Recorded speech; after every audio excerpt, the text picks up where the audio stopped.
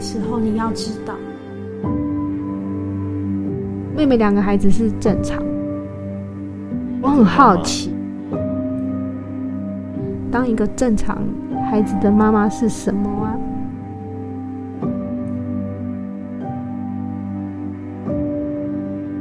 在生产的过程中，很可能因为基因的排序或是生产的过程，而成为心智障碍儿童。我认为这百分之五的孩子承担了另外百分之九十五的苦难，所以在我心目中，他们其实像天使一样的坚毅，天使一样的美。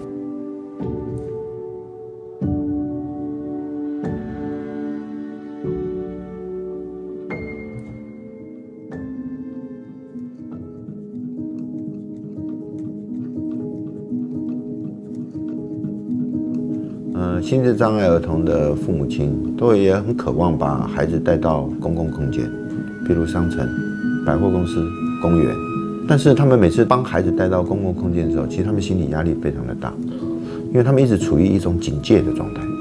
为什么是警戒？因为小孩子可能有不寻常的举动，比如说他会大叫，他可能在商城里面的一个声光的效果刺激到他。吃饭的时候呢，孩子对某件事物吸引了。被哪一个人吸？他一边吃饭就一边盯着别人，会造成别人的不舒服。所以妈妈后来在餐厅吃饭，总是选择了一个角落，让孩子永远是面对的一道墙。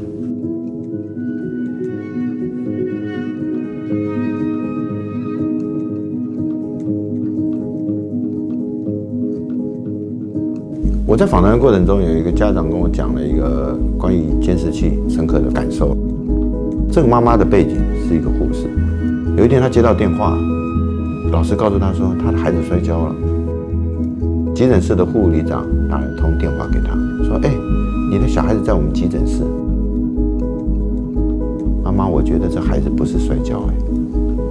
晚上，她就跟着她先生讲了这个事情。她先生就很坚持要幼稚园把监视录影带叫出来，他想要看。看了以后，原来是。老师在情绪上面可能有点失控，他动手打了孩子。我我是一个受虐的妈妈，我孩子受伤了，我因为当初就感觉好像摄影机救了我们，这就是我们要练习对人的相信，我们能做的就是这样。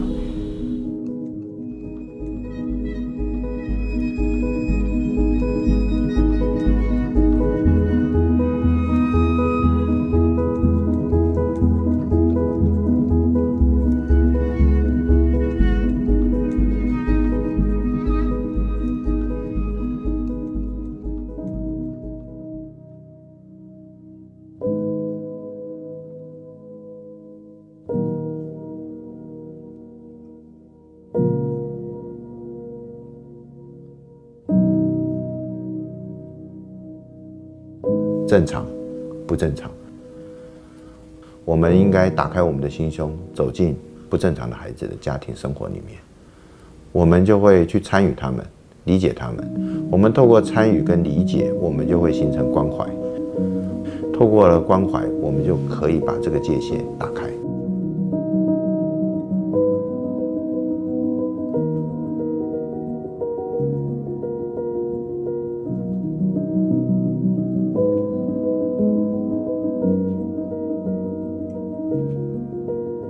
个作品的手稿画了大概三十张左右，那我后来把它浓缩成十四张。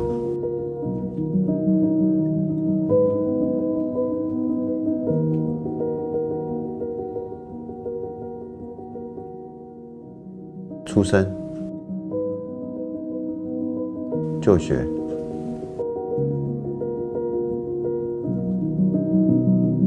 宗教。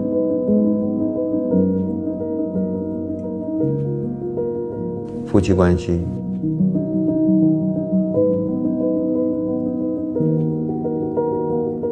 如何面对死亡，等等的问题，都是非常复杂的。每一个议题，对我们而言都是切身的。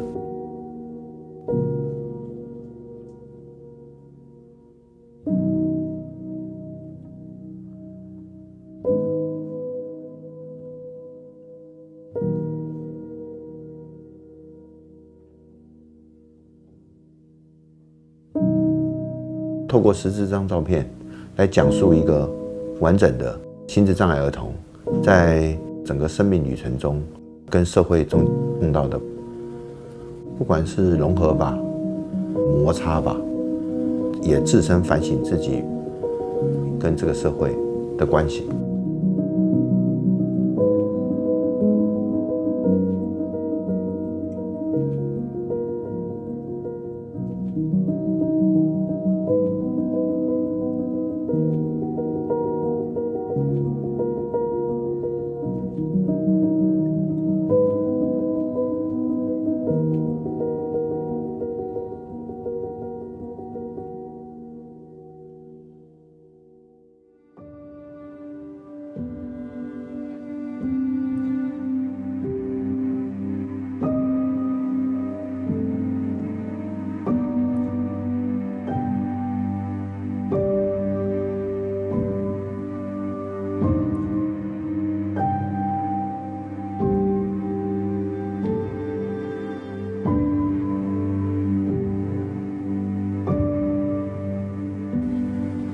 那我总是希望拍摄新的计划，能跟旧的作品有一些差异性，然后有百分之二十的困难度，来去克服那个困难，其实才是创作者的过程中一种，不管是乐趣吧，还不可掌握的部分吧。可是这次拍到现在，我觉得已经超过了百分之二十，远远超过我的想象。人的庄园有三十二个角色，天使星计划有一百四十八个角色。人的庄园在两个动物园，天使星计划有十四个场景，分属于十四个不同的地方。我一直很有自信，我觉得我拍完人的庄园以后，拍天使星计划应该可以游刃有余。可在拍摄的过程中，我常常碰到一些不可想象的困难。本来以为做两三顶假发，结果做了二十顶假发。怎么样去让正常孩子跟不正常孩子在同一张照片有所差别呢？我总是希望孩子像天使一样，天使就是精灵，所以我们就有特装。种种的过程中，都让所有的困难度、经费无限的上纲。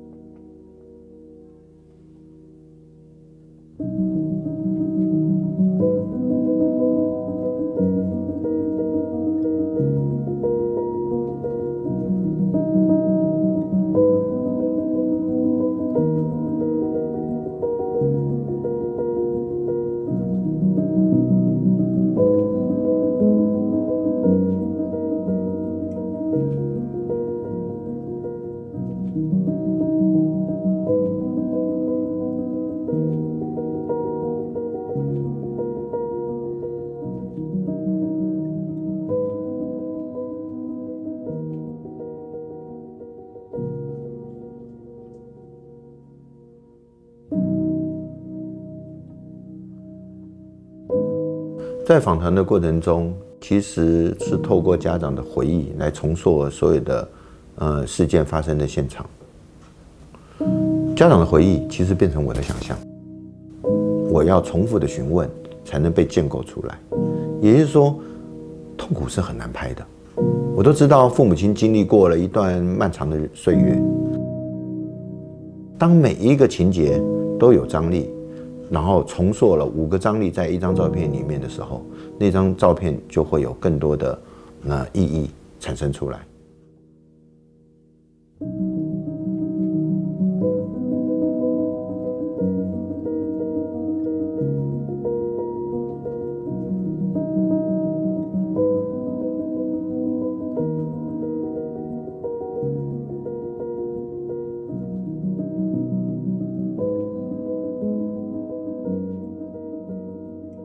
我每次访问家长的时候，都会问家长说：“你可以用一个植物来形容孩子吗？”